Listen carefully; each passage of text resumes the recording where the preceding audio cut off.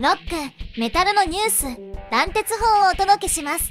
本日の断鉄法は、ベビーメタル、アムステルダム公演大盛況。2024年6月、欧州をツアーするベビーメタル。6月12日は、オランダ、アムステルダムのアファースライブにて、ヘッドライン公演を実施。キャパシティ6000人の会場で、これまた大きく盛り上がりました。セットリストはこのようになっています。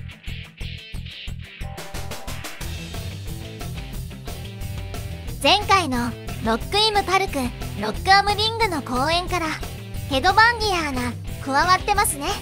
またラタタタをヘビーメタル単体でやったのはこれが初めてだったりします。それからこの公演のサポートアクトデスバイロミーとずっとも写真を撮りました。また一つずっとも写真コレクションが増えましたね。そしてさらに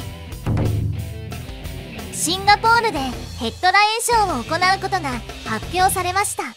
8月20日火曜キャピトルシアターにてスペシャルゲストにリセレートが出演。サマーソニックバンコクの前に行われますね。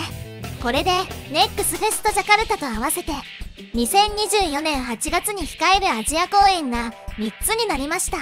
チケットも間もなく販売開始されますよ。公式サイト要チェックです。さあ次のベビーメタルの公演はスイスインターラーケンで開催のグリーンフィールドフェスティバルの出演です。このフェスもまたすごい顔ぶれとなっています。ベビーメタルの出演時間は17時35分となっています。ブリングミーザホライズンと同日出演なのでここでまたキングスレイヤーを一緒にやりそうな気がします。